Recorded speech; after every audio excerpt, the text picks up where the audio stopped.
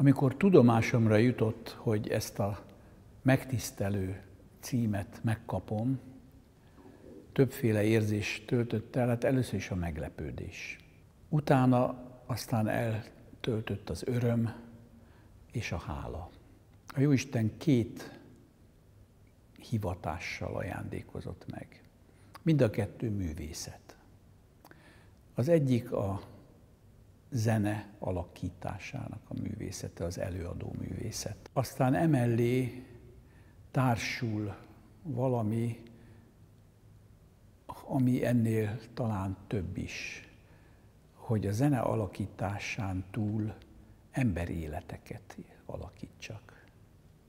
Ez is egy nagy művészet, az ember alakítás művészete. A kettő kapcsolódik és egyesül a kórus területén.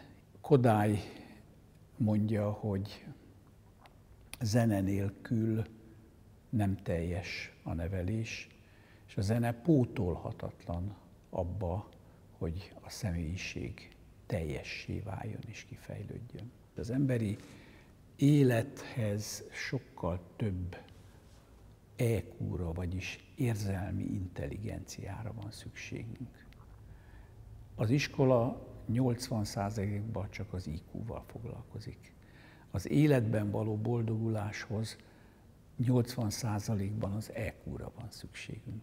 Kodái gondolatok, a kodái iskola nem azért van, hogy zenészeket neveljünk, hanem azért, hogy a zene által teljes embereket tudjunk nevelni.